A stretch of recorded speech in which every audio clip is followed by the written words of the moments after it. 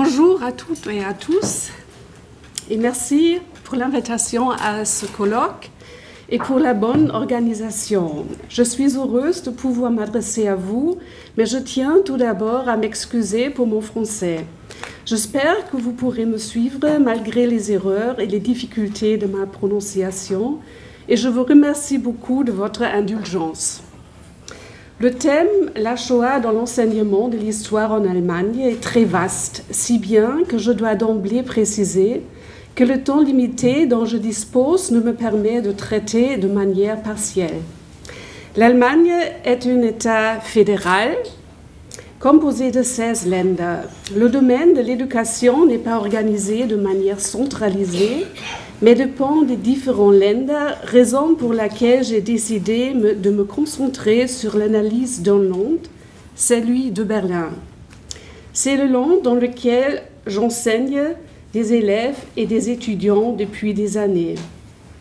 Mais, et c'est important, je ne me considère pas comme une représentante de la politique scolaire berlinoise. Mon intervention comprendra cinq points. Mon premier point abordera quelques exemples de cet enseignement qui ont conduit à des projets plus larges. Ensuite, je vous présenterai des consignes didactiques. Il s'agit ici en particulier du programme cadre de Berlin et de la compréhension de la didactique de l'histoire qu'il contient. Puis, dans une troisième partie, les consignes relatives au contenu. Dans ma quatrième partie, je souhaite expliquer les exigences possibles d'une leçon avant de conclure en présentant des problèmes et questions pour la discussion. Les quatre ensembles suivants concernent des cours qui ont commencé dans la salle de classe, mais qui ont ensuite donné lieu à des activités dans les lieux historiques ou dans l'espace public. Le premier exemple, en 2012, j'ai abordé, abordé, le thème de la persécution et de la déportation dans une classe 11, équivalent de la première en France. Dans ce contexte, nous nous sommes intéressés à un lieu situé à proximité de notre école qui a servi de camp de rassemblement entre 1941 et 1943. Lors de nos recherches sur les victimes, l'idée est née d'offrir une pierre d'achoppement, Stolperstein, à Paul, un garçon de 15 ans qui habitait juste en face de notre école jusqu'en 1942. Nous avons fait des recherches à ce sujet dans les archives du Land de Berlin qui nous ont beaucoup soutenus et nous avons finalement initié une collecte de fonds dans notre école. Sur cette photo, vous pouvez voir la cérémonie de pose de la pierre d'achoppement. Les élèves ont tenu un discours, puis l'artiste Günther Demnig, l'initiateur des pierres d'achoppement, a pris la parole. L'orchestre de la chorale et la chorale de l'école ont assuré le programme musical de sorte que cette cérémonie a été largement diffusée, tant à l'intérieur qu'à l'extérieur de l'école. Deuxième exemple. Sur cette photo, vous, pouvez voir un livre de la berlinoise Inge Deutschkron, paru pour la première fois en 1985 et qui en est aujourd'hui à sa 29e édition. Il s'intitule Ich trug den gelben Stern, je portais l'étoile jaune, et raconte comment l'auteur et sa mère ont survécu à la persécution en tant que juifs. L'une de leurs cachettes était l'atelier d'Otto Weid dans le centre de Berlin, dans lequel des juifs aveugles et sourds fabriquaient des brosses. Le petit fabricant a également caché des familles juives entières et a même tenté, dans certains cas, de libérer des personnes de Theresienstadt et d'Auschwitz, dont bien sûr. Cet extrait de photo datant de 1941 montre une partie du personnel. Inge Deutschgrund se trouvant devant, à gauche. Un musée a été créé en 2008 dans les locaux d'origine à l'initiative d'Inge Deutschkron. Une visite de l'exposition permanente dans ce lieu permet de comprendre plus concrètement les dangers et les effets de la persécution, de la déportation et en étant confronté à de nombreux matériaux originaux, de nouvelles questions peuvent surgir. Jusqu'à son décès en mars 2022, quelques mois avant son centième anniversaire, Inge Deutschkron allait à la rencontre des élèves pour témoigner de son vécu. Vous la voyez ici dans une telle situation. Je l'avais invitée à rencontrer ma classe avec laquelle nous avions lu auparavant des extraits de son livre et visité le musée susmentionné. Troisième exemple. Les premiers transports du juif berlinois vers l'Est ont commencé le 18 octobre 1941 depuis la gare de Grunewald, une localité située dans le sud-est de la ville. La gare du train régional de l'époque a survécu à la guerre et continue d'exister, mais c'est sur, le, sur le lieu historique concret des déportations qu'a été inauguré en 1998 le mémorial de la Voie 17. Chaque année, le 18 octobre, une cérémonie commémorative y est organisée en début de soirée par des élèves des différentes écoles où on lit à haute voix des noms des déportés. J'ai ici deux photos prises après la commémoration. À la droite de la photo, vous voyez d'ailleurs une couronne de fleurs blanches de la Deutsche Bahn. Dans mon cours, ce lieu est également abordé en préparation d'un voyage scolaire à Auschwitz. Vous reconnaissez ici des participants à cette exclusion devant la porte d'entrée du camp principal d'Auschwitz le camp de concentration. Non loin de cette porte se trouvent les archives du camp qui ne permettent toutefois aux élèves d'effectuer des recherches qu'après accord préalable. Euh, après être inscrits, les élèves ont pu y rechercher des déportés berlinois. Et ici, les élèves dans, dans le camp d'extermination de Birkenau. Un autre aspect qui nous a occupés lors de la préparation et à Auschwitz-Birkenau même était celui des bourreaux. La biographie de Hans Stark a servi d'exemple. Né en juin 1921 à Darmstadt, une ville près de Francfort, il a interrompu sa scolarité à 16 ans pour travailler dans le camp de concentration de Sachsenhausen, puis de Buchenwald et à partir de 1940, il est devenu chef de bloc à Auschwitz.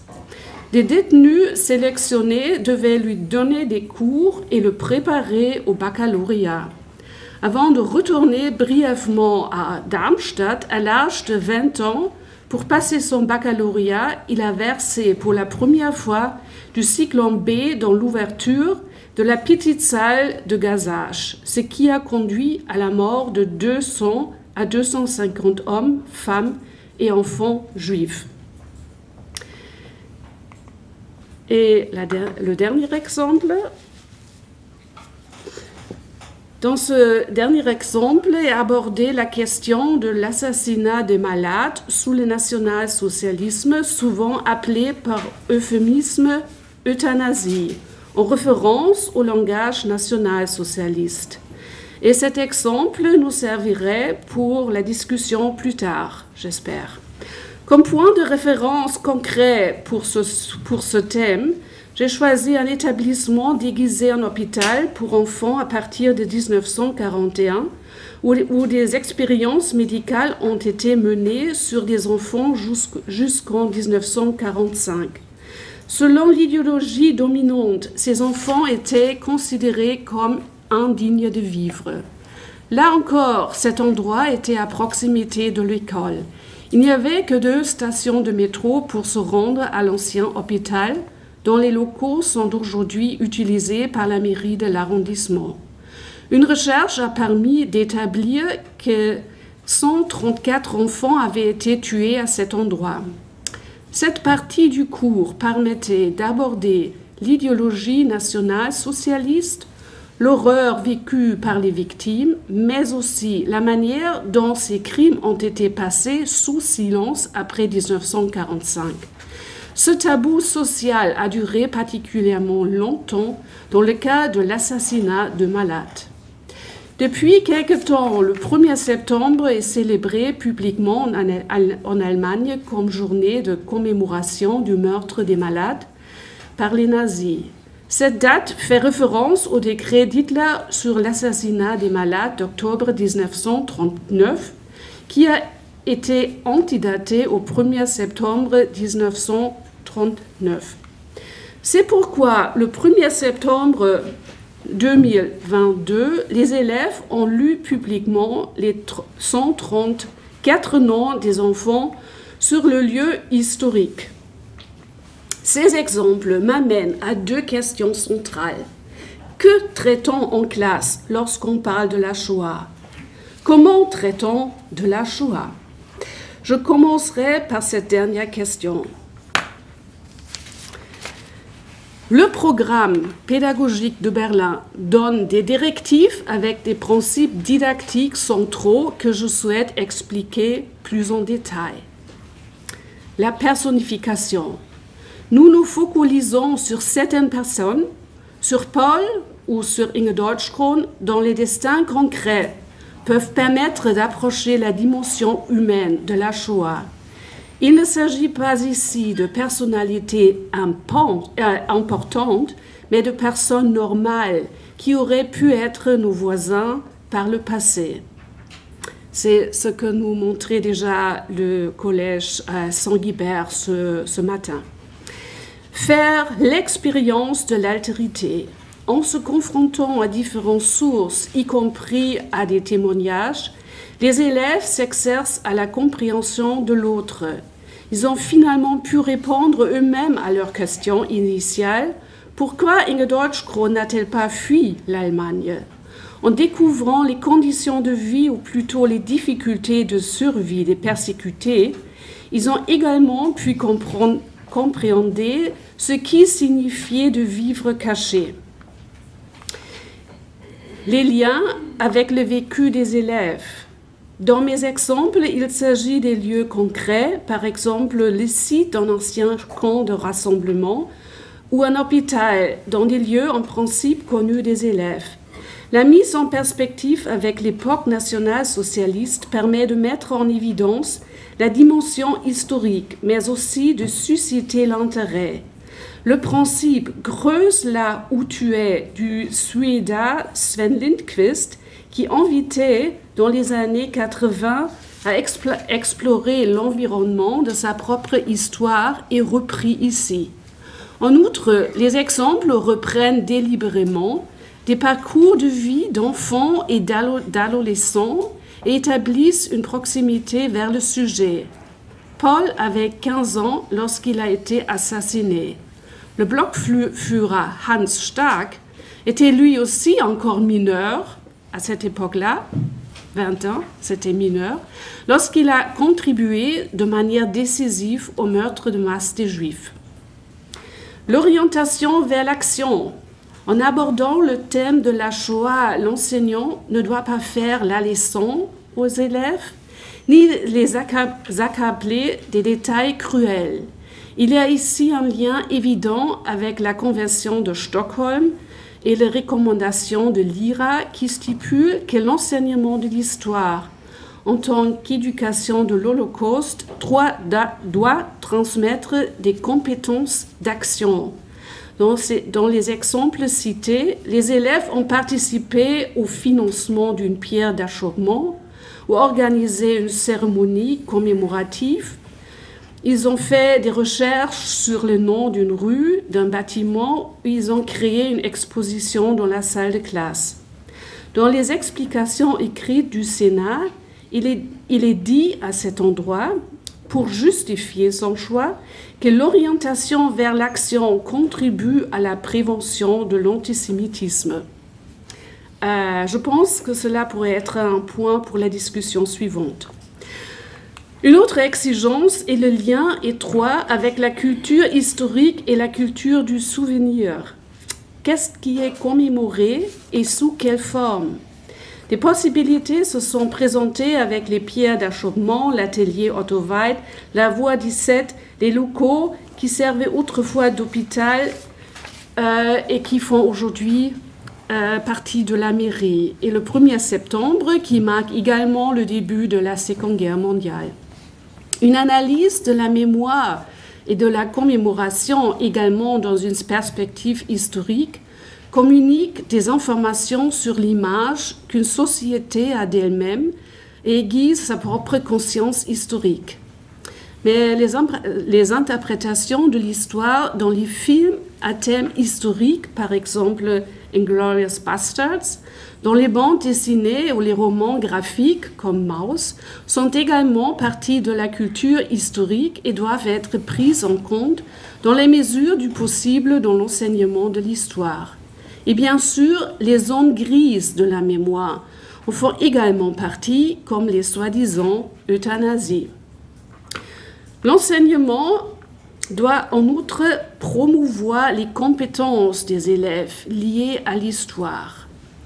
Concrètement, cela signifie que les élèves doivent pouvoir interpréter différents types de sources, deuten, analyser des représentations de l'histoire, analysieren, développer des compétences méthodologiques, s'orienter historiquement et prendre des positions fondées, urteilen, sich orientieren, développer leur propre récit historique plausible et fondé sur des faits. C'est au milieu, c'est la compétence narrative, c'est la compétence la plus importante qui donne preuve à la conscience historique. Ça, c'est la théorie. OK, qu'est-ce qui est traité dans le thème de la Shoah? Maintenant, les contenus. Et je dois ajouter quand le contenu est-il traité En cinquième, sixième année, c'est-à-dire entre 11 et 12 ans, équivalent de CM2, sixième, les sciences de la société, un ensemble de matières associant l'histoire, la politique et la géographie, propose la série de cours Diversité dans la société. Dans ce contexte, l'exclusion doit être abordée dans une perspective historique, comme l'exclusion des Juifs au Moyen Âge ou sous le nazisme, ainsi que l'exclusion des Sinti et des Roms dans l'histoire allemande. Alors qu'il s'agit d'une offre facultative pour les plus jeunes, en 19e, 10e année, c'est-à-dire à, l'âge de 15-16 ans, l'étude du nazisme est obligatoire pour tous les élèves. Permettez-moi de vous lire le texte complet avec les consignes relatives au contenu. Voilà le contenu. Euh, les élèves acquièrent des connaissances sur les fondements idéologiques et les structures politiques du régime national socialiste. Il s'agit en outre de la Seconde Guerre mondiale et l'Holocauste, le génocide, le meurtre, auteur des crimes, ça c'est une faute ici, euh, non, c'est pas une faute ici, euh, donc les bourreaux, groupe de victimes, juifs, Sinti et Roms, handicapés, homosexuels, résistance politique et autres. La résistance contre le régime nazi en Allemagne et en Europe. La culture historique, la mémoire du passé à l'Est et à l'Ouest. Et voilà, c'est tout. Non, non, non, non, c'est, non, non, non, non. c'est tout pour le contenu qui est donné. Euh, je suis désolée. euh, je veux dire, il n'existe pas d'autres directives obligatoires en matière de contenu, mais la visite d'un lieu d'apprentissage extrascolaire est obligatoire, c'est-à-dire un lieu comme le musée Blindenwerkstatt Otto Weid. Les voyages commémoratifs d'anciens camps d'extermination sont soutenus financièrement par la ville de Berlin, mais il faut pour cela surmonter quelques obstacles bureaucratiques. Il y a 20 ans, les voyages scolaires de Berlin vers les sites commémoratifs d'Auschwitz-Birkenau étaient assez nombreux, mais ces dernières années, cet engagement et cet intérêt ont sensiblement diminué. Tous les élèves qui passent le baccalauréat et qui ont choisi la matière de l'histoire traitent en dernière année le thème de la Shoah et de son insertion dans la dictature nationale socialiste. Là aussi, les contenus concrets font largement défaut. Hormis les cours d'histoire, il existe également des occasions d'aborder les aspects de la Shoah dans d'autres euh, matières, par exemple en cours d'allemand, où le journal d'Anne Frank fait partie des lectures facultatives. En résumé, on peut dire que les élèves berlinois abordent au moins une fois le thème de la Shoah en cours d'histoire. Euh, donc, euh, maintenant, c'est le curriculum interne de l'école. C'est un exemple parce que chaque école est tenue de compléter les directives très générales du programme cadre par d'autres contenus intégrés dans le curriculum interne. C'est là qu'ils sont fixés le cadre euh, temporel, événement pertinent, les termes techniques. Et pour illustrer mon propos, je vais vous donner un exemple. C'est 4 heures et une exclusion ça, c'est le contenu. Les étapes de, l'extermination selon Raoul Hilberg et l'exemple d'Inge Deutschkron. Peut-être aussi le comportement des, des Allemands non persécutés. SS, SA, Gestapo, euh, SD, tout, la police, donc les bourreaux, l'importance de l'Office central de sécurité du Reich, la Deuxième Guerre mondiale avec les Einsatzgruppen en Union soviétique, comme Babia. Euh, aussi lié euh, peut-être à la question comment se souvenir de ces crimes et une excursion à la topographie de la terreur qui traite ce sujet très bien. Euh, la conférence de Wannsee Quatrième point, exemple de camp d'extermination Auschwitz-Birkenau, et définir le terme ghetto, camp de transit, camp de rassemblement, camp de concentration et camp d'extermination. En Allemagne, ce sont d'ailleurs les enseignants d'une école qui décident du manuel d'histoire et le rend obligatoire pour l'enseignement.